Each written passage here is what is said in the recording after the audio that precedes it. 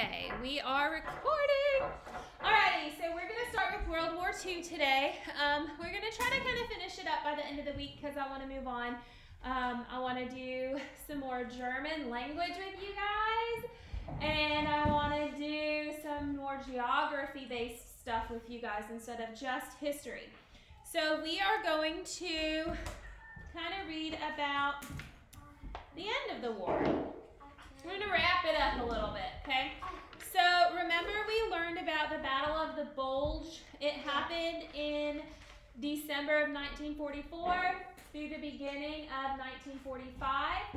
Um, remember Hitler had planned these massive panzer armies. What's a panzer? Um, Japan? Is it a big cat?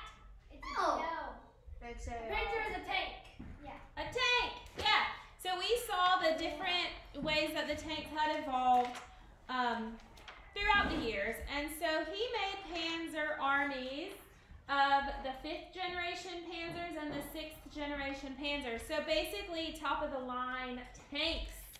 The most modern, top of the line tanks you can get. Hitler plans these armies. He plans to send a million Nazi soldiers to the front and they win this thing, Hitler thinks. Do the generals, do the Nazi generals have a good outlook on this idea? Did they think it was a good idea? No. No. They said didn't have supplies. they said we don't have enough supplies. They said our guys are tired. The soldiers we have left are very, very young or very, very old. We don't have what we need to win this thing. We have been fighting for five years. We're tired. Terrible plan. Hitler said, do it. Right? Um, who is the American general who came in and saved the day? Remember, at first, they were winning. Things were going bad. They made a dent. They made a bulge in the Allied front.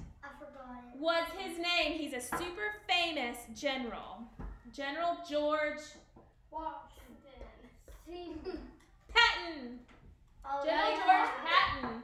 When you're older, there is a movie called Patton. Um, I watched it in high school, but I didn't pay attention, but it's very famous. Is it Paddington? Okay, so General George Patton comes in and he says, We are ending this here and now, and he gets victory over the Nazi troops, and it definitely changes the outcome of the war. Winston Churchill, the Prime Minister from Great Britain, called it the greatest American victory in history. Okay, um, this is kind of backtracking, I think. Um,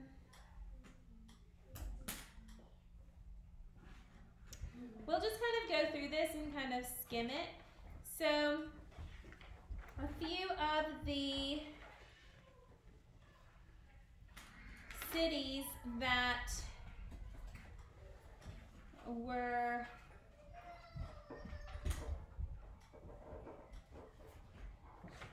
let me find a good place to start. Um, we'll start with the end of the Battle of the Bulge. I guess that makes sense, doesn't it? Okay, so following their January victory at the Battle of the Bulge, the Allies continued their slog toward Germany. Their goal was to capture the west bank of the Rhine River and three strategic German cities Cologne, Bonn, and Remag- Remagen. Remag- Remagen, Remagen. I don't know how they would say it. Um, Allied leaders agreed that while resistance would be fierce, enemy forces would not be able to stop this campaign, codenamed Lumberjack. Ooh, lumberjack. So the Allies have now developed Lumberjack. This is after the Battle of the Bulge. They plan to capture three major German cities. The 21st Army Group, composed of British, Canadian, and American divisions, closed in on the Rhine in the north while the U.S. First Army headed for Cologne and Koblenz. In the face of opposition, the German military stood its ground. In an attempt to slow the Allied advance, Hitler ordered the bridges over the Rhine destroyed. So Adolf Hitler, to stop the Allies, ordered any bridge that crossed the Rhine River destroyed. That way, the Allied troops could not cross the river easily. If they're carrying tanks over the bridges, then they probably would fall anyway. Yep. One of the few spans left intact was intact was the Ludendorff Bridge, 15 miles south of Bonn, which crossed the Rhine at the ancient Roman town of Remagen. Remagen. Named for General Erich Ludendorff, who had led the final German offensives in the Western Front during World War I, this strong railway bridge dominated the town and provided passage to retreating German soldiers and escaping refugees. So the bridge that's remaining over the Rhine was a railroad bridge. What does that mean? It means that trains, Yeah, it's a bridge for trains to cross. Why did Adolf Hitler and the Nazis decide they needed to keep one? because they needed, because the maybe the trains carried their people. Yeah, they needed a way to cross the river, right? So they needed a way to retreat. They needed an escape route. They also needed an escape route for refugees, people who were running, basically. Um, on March 7th, the U.S. First Army began its advance to Remagen, led by Lieutenant Carl Timmerman, commander of Company A of the 27th Armored Infantry Battalion. Timmerman believed that the Germans who were stationed on either side of the river would destroy the Ludendorff before he arrived. But when the lieutenant put his field glasses to his eyes and looked toward the Rhine, he saw that the bridge was still standing. The Germans were planning to destroy the bridge as soon as their soldiers had crossed. Oh, so they get there just in the nick of time. The bridge is still up, it had not been destroyed yet. Around 2 Who ate it? Who ate it? Around 2 p.m., just as the Americans were about to advance towards the, towards the bridge, a dark torrent of earth, paving stones, and iron exploded on its western ramp. The Germans had blown a 30 foot crater in the railway leading to the bridge. Instead, the bridge was still standing. Two of Timmerman's men raced up the girders to cut the wires leading to the remaining German demolition chargers, while the rest of Timmerman's men fought their way to the other side. So they are crossing as the Nazis are trying to blow up this bridge. So they have a big hole now in the railway, and they are going and they're so they're using like dynamite explosives. It's connected to a cord. You like mm. I know you're talking detonate it. But so it's not like wireless like we have today. Now you just have this button you can push it, you know. But so it's attached to a cord, so they go and they snip the wires so they can't blow up. They can't use their detonator. Before the German captain in charge of the Nazi effort surrendered, he sent this message to his superiors. The demolition of the bridge was unsuccessful. The Americans have crossed. The capture of the Ludendorff, dubbed the Miracle of Remagen, allowed Allied armies to stream across the river. Within the first 24 hours, more than 8,000 soldiers had passed over the last natural barrier to Germany's heartland. Oh, yeah. So here is a picture of um, U.S. Army engineers there working to repair the damage to the Ludendorff Bridge after um, they had tried to destroy it. And the other picture, the one in color, you can see American flags on the top. And this is where um, the Americans put the U.S. flags um, on the tower of the Ludendorff Bridge after they captured it.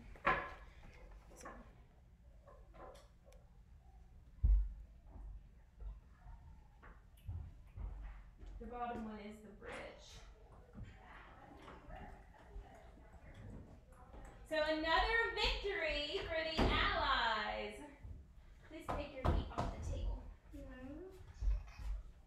Hmm. Operation Lumberjack. Was Operation Lumberjack a success? No. Yes! What? Yeah. But they couldn't work. To the Germans. Oh, Operation Lumberjack was an is just a code name for the. It is, but it was a success because the Allies got into Germany across the Rhine. It was a plan for the Allies, not the Germans. Okay, so now we've got we've got Allied forces in the heartland of Germany, which means inside infiltrating. They don't have any natural barriers around them, such as the river, the mountains. They are actually like in. Okay, so now we're going to talk about a city named Dresden. Dresden is in northern Germany, and um, actually, we know somebody who lives just outside of Dresden. Me and Camden do anyway. Camden probably won't remember because Camden was a tiny baby when Miss Lydia was his teacher.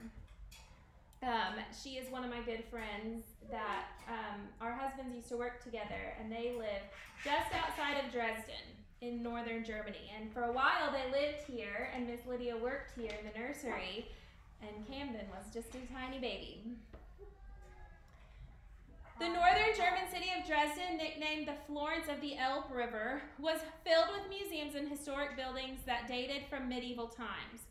Because it had not been a military target in the early years of the war, Dresden escaped the fire bombings that decimated other German cities, and it became a magnet for refugees fleeing the advancing Red Army. Who's the Red Army?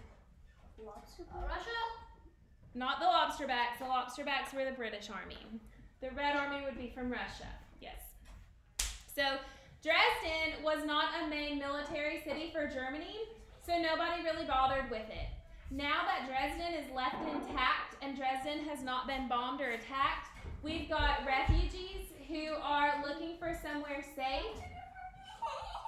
Here, listen, put it back. Neither of you need that. Give it to me. Um, we've got refugees trying to escape and find somewhere safe. They're going to Dresden.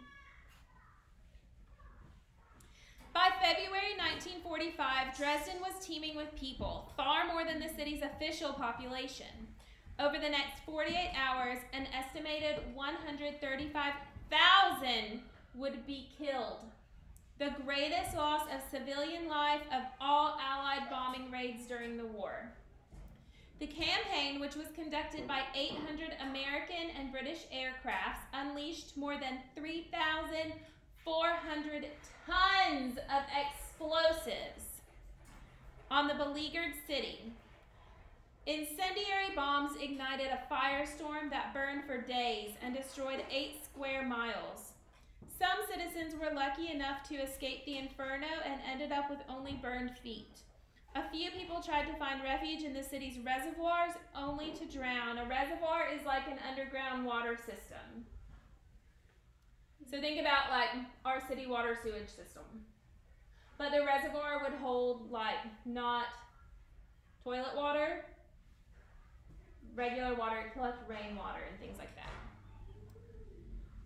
I'd rather be an expert than a sewer. Those hospitals left standing were overwhelmed with the inju- injured.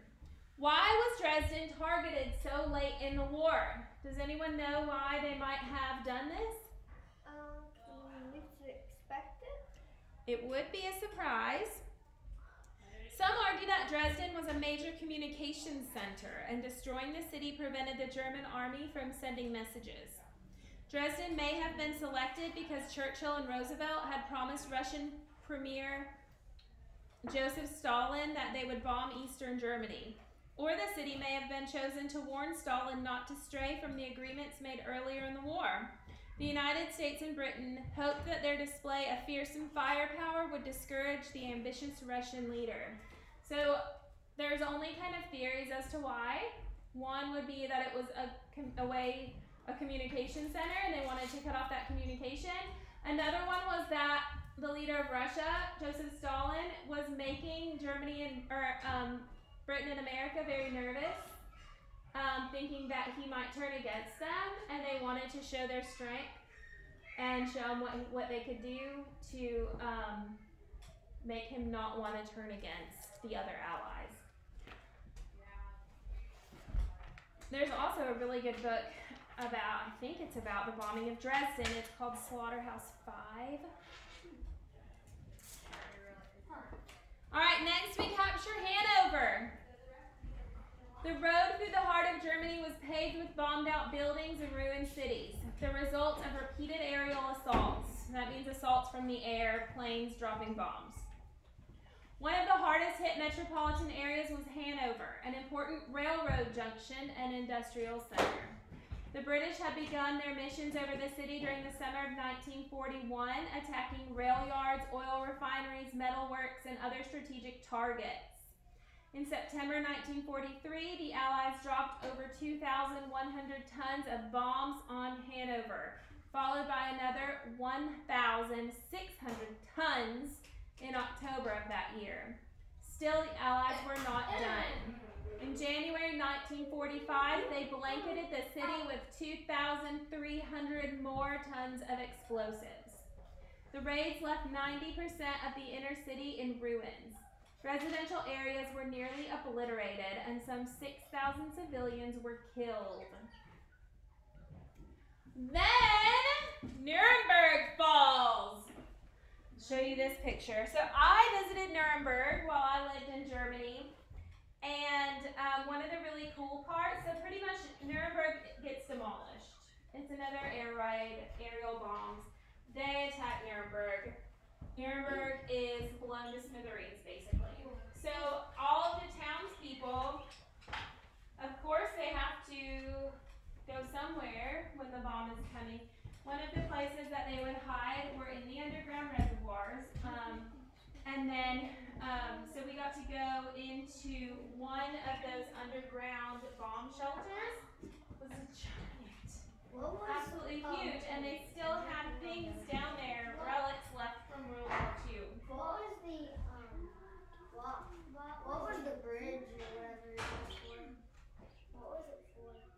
The It was a bridge across a river to get into Germany. um Um, where, uh, I mean, what was in the bomb shelter? Was, was there like beds in it? Uh, no, not while I was there. There's a bomb shelter behind my house. There were some toys left down there, though. What? Berlin may have been the political center of Nazism, but Nuremberg was its spiritual hub. A city with historical ties to the Holy Roman Empire, Nuremberg was chosen by Nazi officials to host the party's annual rally, a ritualized spectacle designed to energize the faithful. The rallies became so huge that Albert Speer, the Third Reich's chief architect, designed a vast complex of buildings and parade grounds dubbed Zeppelin Field on the edge of the city to accommodate the crowds. I have been to Zeppelin Field. Um, they have left, they've torn down most of it, now it's a racetrack. But they still have the big building and stand where Adolf Hitler stood and led the rally. Um, so, pictures that you see, some of the most famous pictures that you see of Adolf Hitler were taken at Zeppelin Field. Um, let me see if I can find it because you've probably seen it before. Um, Ah, okay. Okay. Hey, at the top.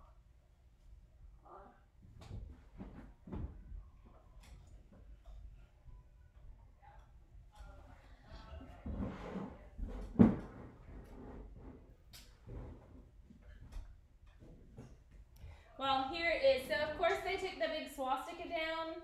That's on the top. But the big, the concrete building you're going to see, um, this, all of this part still stands. So, I've stood up here. Um, and then they have a, like a race car track on there now. This is Zeppelin Field.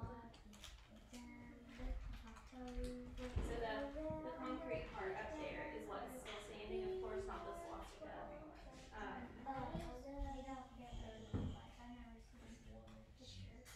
what is that? People or something? yep.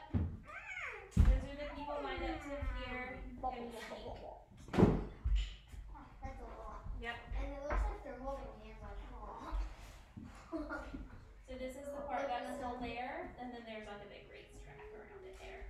hey, what are you gonna say? I slapped my brother with a woman.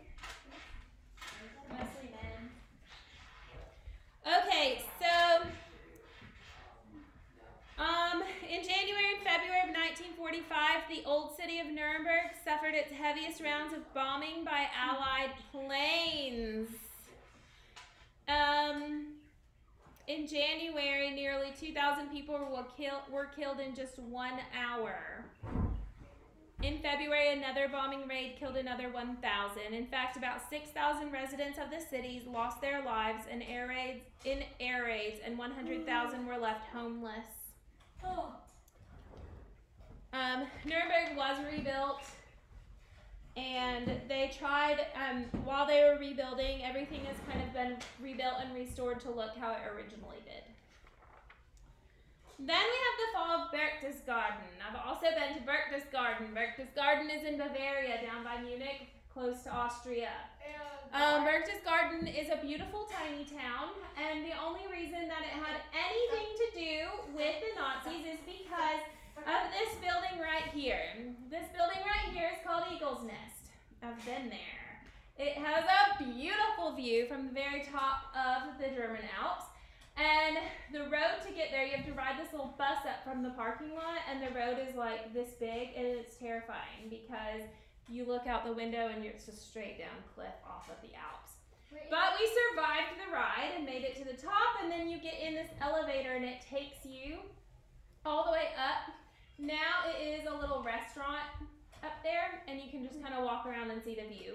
Um, there's not really much to do up there, but it's called Eagle's Nest. Eagle's Nest was one of Hitler's homes. It was built for him for his 50th birthday. And so um, this was another town, of course, that got destroyed. wonder if anyone has planes whenever they've seen the view from up All right, and then in April, in April, the Allies free the Netherlands. I'm gonna kind of rush through a little bit more. Then the Allies move into northern Italy. Remember, Italy was one of the Axis powers, um, and um, the Allies were able to get into Italy further or earlier in the war than they were into Germany. So then they go there. The final days in the Führer bunker. The Führer, remember, is Adolf Hitler. He is the leader.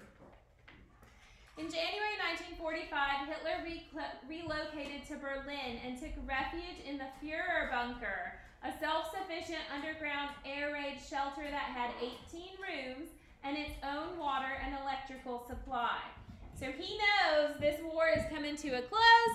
The Allies are taking out everything. They're bombing cities. He knows he's done for, and he knows that if the Allies get their hands on him, he's going to be in a world of trouble, right? Because remember, they're free concentration camps. They're finding out all of the war crimes that Germany has committed, and they are whipping people into shape, basically, girls. So Adolf Hitler tucks tail and runs. He runs and hides out.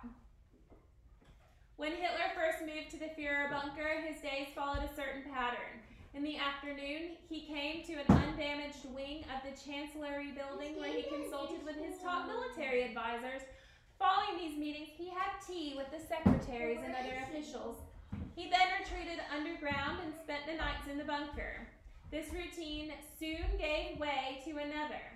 Hitler emerged to take his dog um, on short walks. The rest of the time he spent underground. Uh, in March, so about three months, he's been down there. Uh, amidst amidst desperate last-ditch fighting with the Allies closing in on Berlin, Hitler issued this order. Please stop! He's. Lee's not doing anything. He's fine.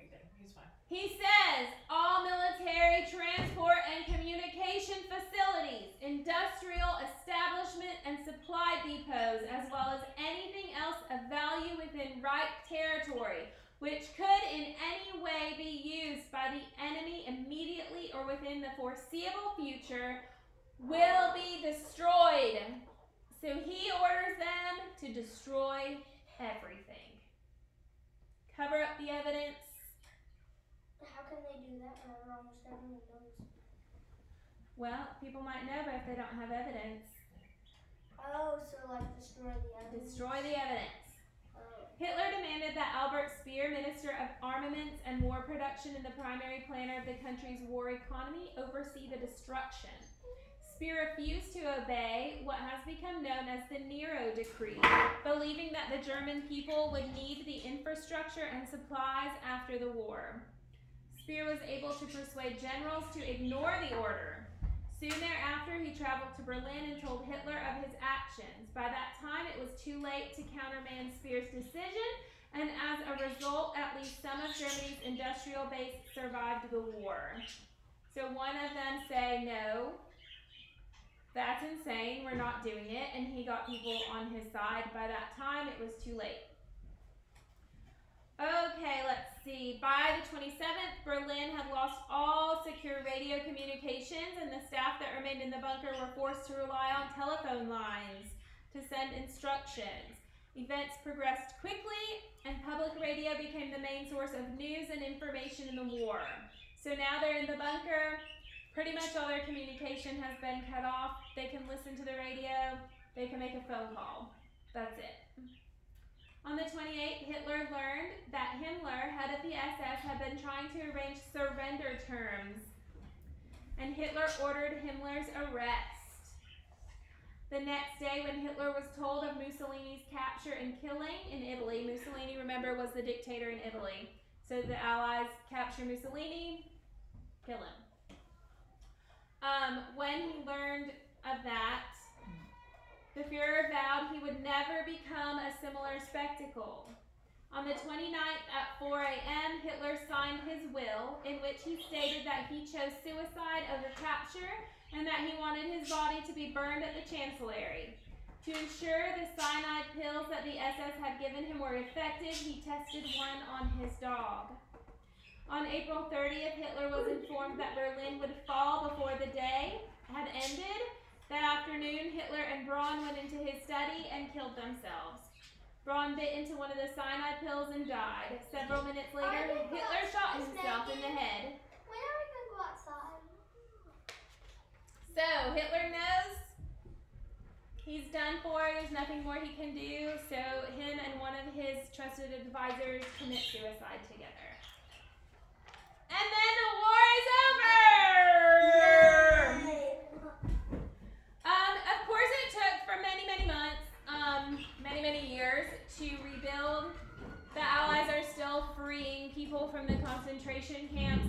They're helping to rebuild the cities. They're helping to um, clean up. They're helping to get go- the government back to democracy, back to a place where they can be independent again. Because right now they've just come from a whirlwind of having this terrible dictator who is psycho. And so now um, the Allies didn't just say, bye, see ya. They stuck around and they helped out and they helped um, they helped the countries get back on their feet. So of course we still have um, of course that was just kind of a in a nutshell trying to finish off um, and we never finished about Japan. So of course we still fought Japan. We had troops over in the Pacific front as well. Um, one of the most famous bombings there was the bombing of Hiroshima, where they dropped the atomic bomb. Two. Two atomic bombs. On Hiroshima? yeah, Got Australia. Um, the chronology of the so in January, January 27th, they liberate Auschwitz. April 11th, they liberate Buchenwald. They liberate Bergen-Belsen on April 15th. Dachau, remember Dachau was the first. They liberate it on April 29th. Um, Neuengamme on May 4th. May 8th, Theresienstadt. They transformed Dachau into what it is today. And um,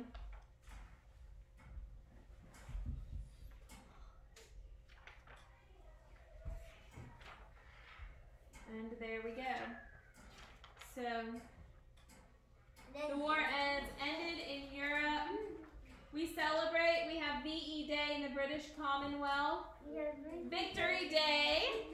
Our allies are celebrating. We have Victory Day in France. We have Victory Day in the United States. We have Victory Day in the United States. What? We have Victory Day in Moscow. In Russia. We have Operation Magic Carpet. Operation Man, uh, Operation Magic Carpet was the operation to bring everybody back home. Oh, so getting troops back home was Operation Magic Carpet. When they were on the magic carpet, they go a whole new world. um, then we have the partition of Germany. Germany becomes divided into East and West Germany, which would remain divided until what was it, the 1980s, right? Then they start trying Nazis for war crimes. With crimes. Um, and a lot of them escaped. Many Nazis actually escaped out of the country. They came to the United States and basically changed their identities. Um, so it was it's pretty interesting actually. It's pretty interesting. All right, so that is where we're gonna stop with World War II. I'm sure you will do a much more in-depth study of it later in your lives in high school and college and or on your own. Um, if you have questions about World War II, you can always do research projects on it. Okay. Um, so we're gonna go back to Romeo and Juliet. We're gonna go back to Romeo and Juliet, and um, remember we're in Act Three, and Act Three is what you need to know for your Friday morning work. Okay. So Act Three starts with Romeo's battle and Mercutio. Mercutio dies. Romeo freaks out and kills Tybalt. Remember, either thou or I or both must go with him. So Romeo kills Tybalt. Uh, Prince Escalus says because he was provoked, he didn't start the fight. I won't kill him, but he's banished. He's kicked out of Verona for eternity. So he goes to see Friar Lawrence. Friar Lawrence says, see Juliet for the last time. I'll try to get this worked out. You're going to move to Mantua outside of Verona and wait for my messenger. Okay? Do, do, do, do, do.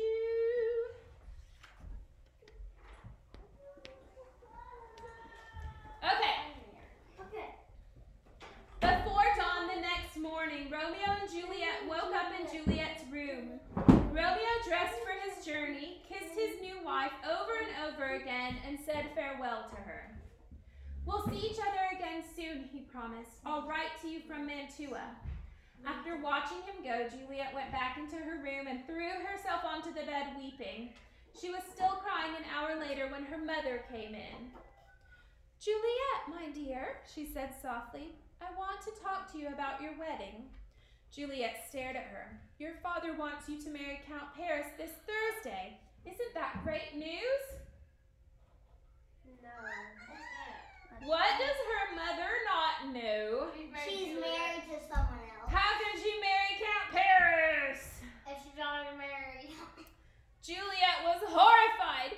No, I won't marry him. But then her father, who had been waiting outside, came into the room with the nurse. What do you mean, no? he roared. You'll be married on Thursday, and that's that. That's it. You must be upset about Tybalt, said her mother, but the wedding is sure to cheer you up. They left Juliet sobbing in her nurse's arms. No, she wailed. Oh, sweetie, perhaps you should marry the Count after all, the nurse said. I will not, Juliet said determinedly through her tears. I'm going to see the friar. Old Capulet had already told Friar Lawrence he would need his services for his daughter's wedding on Thursday, so when the friar saw Juliet coming, he knew why. I'm so sorry, Juliet, he said kindly. I've heard all about your father's plans. I'll kill myself, Juliet threatened. I'd rather do that than marry Paris. No, wait, said Friar Lawrence. There's another thing that just might work. I have an herbal potion that will send you to sleep for two days. Such a deep sleep that you'll seem to be dead. If you take it tonight, your family will think you've died and they'll put your body in the Capulet vault. I will send word to Romeo to come and collect you when you wake up, and then you can run away to Mantua together. Give me the bottle, said Juliet. I'll do it. And thank you, Friar Lawrence. She went home, apologized to her parents, and told them she would marry Paris. Then she went to her room, took a deep breath, and swallowed every last drop of the potion. The next morning, the Capulet household was plunged into weeping and despair. Juliet had been found dead in her bed. The wedding was called off and a funeral arranged. When everyone had wept over her and kissed her and blessed her soul, Juliet was carried down to the icy cold vault beneath the Capulet chapel until her funeral could be held. Meanwhile, Friar Lawrence sent a messenger to Mantua with a letter for Romeo explaining the plan. But Romeo's friends, unaware of the truth, had already sent a servant to Mantua to tell him of Juliet's death. When he received the terrible news, Romeo finally gave in to despair. Well, Juliet, I will be with you soon after all, he said to himself. I'll buy some poison and come back to Verona and join you in the Capulet vault, and there I will lie down beside you and end my life. He left his lodgings and went to find the best apothecary in Mantua to ask him for the deadliest poison money could buy. Why is he poisoning himself? Because he thinks Juliet's dead, and how can he live without Juliet, who he's known for two days? Campton.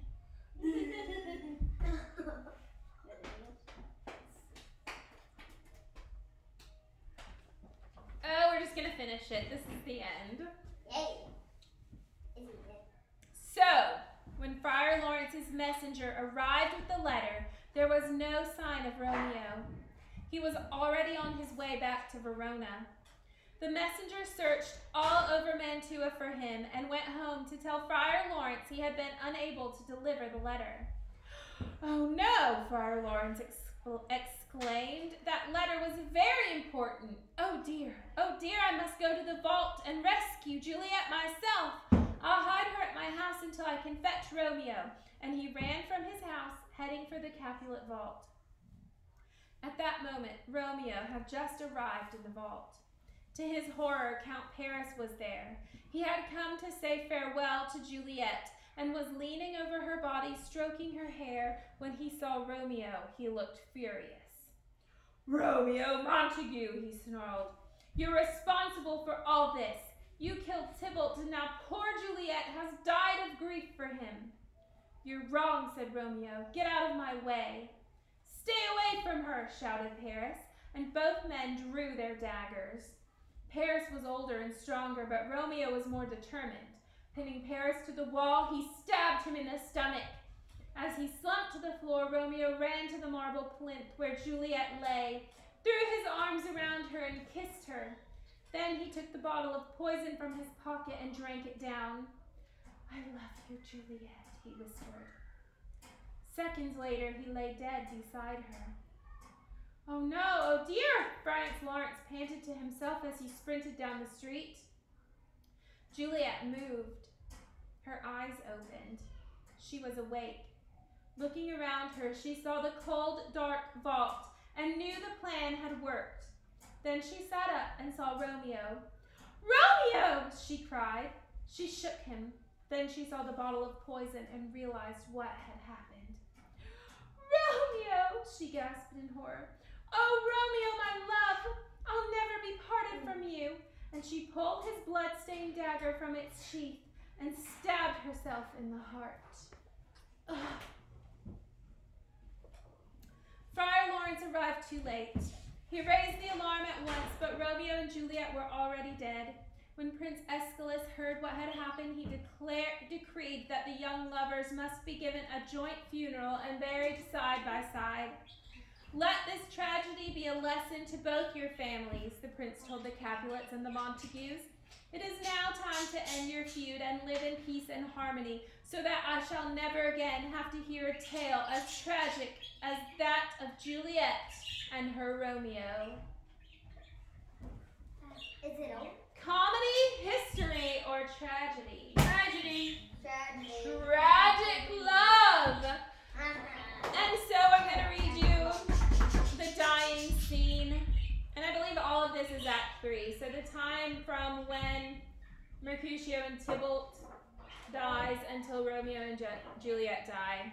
is all act three. Yay. Um, Wait, no, I mean not tragedy. Comedy. So comedy. It's a lot longer in real life. That one's just shortened for you guys. No, it is comedy. you said it. Miss Megan, we need comedy. Oh no, this is Act Five apparently. The funnest. Let's bring that. Oh, yeah. Get some Wait, fucking there's an comedy act done. five? Oh my honey did that. Oh no, oh no, I missed a big time. I wish we could go and see the play. Oh no, my Romeo. What Why I did. can we not see the play? You can make your own play and you can find a Romeo. Hey, Romeo. Don't ask me.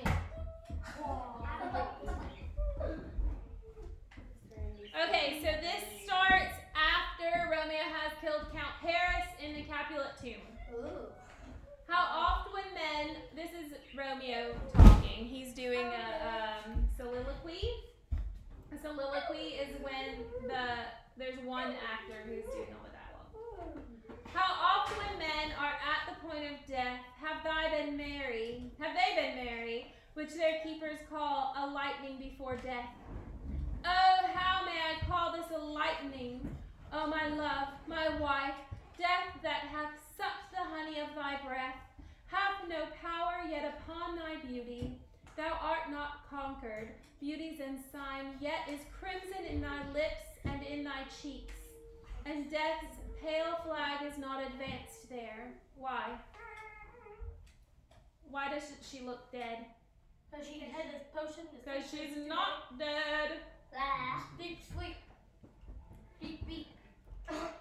Tybalt liest thou there in thy bloody sheet. Oh, what more favor can I do to thee than with that hand that cut my youth in twain to sunder his that was thine enemy? Forgive me, cousin. Ah, dear Juliet, why art thou yet so fair? Shall I believe that unsubstantial death is amorous, and that the lean abhorred monster keeps thee here in dark to be his paramour?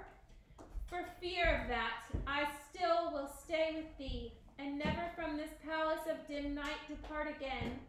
Here, here will I remain with worms that are thy chambermaids. Oh, here will I set up my everlasting rest, and shake the yoke of inauspicious stars from this world wearied flesh. Eyes, look your last. Arms, take your last embrace. And lips, oh, you, the doors of breath, seal with a righteous kiss, a dateless bargain to engrossing death. Come, bitter conduct, come, unsavory guide, thou desperate pilot, now at once run on the dashing rocks, thy seasick, weary bark. Here's to my love. So he's got his, his poison, and he drinks it. Oh, true apothecary, thy drugs are quick. Thus, with a kiss, I die. Enter Friar Lawrence. Blah, blah, blah, blah, blah. Juliet. Oh, comfortable friar, where is my lord? I do remember well where I should be, and there I am. Where is my Romeo? Um, He's right behind you. Like then Romeo's like, like his eyes are still open after he drinks the like, so Friar Lawrence comes in, Juliet wakes up, Friar Lawrence Friar Lawrence um hears somebody. Um, so he goes to like check it out, and while he's gone, she's this is Juliet. Now she's by herself with Romeo, who's dead. Go get me hence, for I will not away. What's here? A cup closed in my true love's hand? Poison, I see, hath been his timeless end. O churl, drunk all, and left no friendly drop to help me after? I will kiss thy lips. Haply some poison yet doth hang on them to make me die with a restorative. Thy lips are warm. So she knows he's just died. She's hoping that there's enough poison left on his mouth that if she kisses him, she'll also die. Yea, noise, then I'll be brief. Oh, happy dagger! Taking Romeo's dagger. This is thy sheath. Bear rust, and let me die. What's that? I go, I go, I'll do she it. She just for means she's happy. She's like, oh, thank God, a dagger. Okay. And that is finished. It's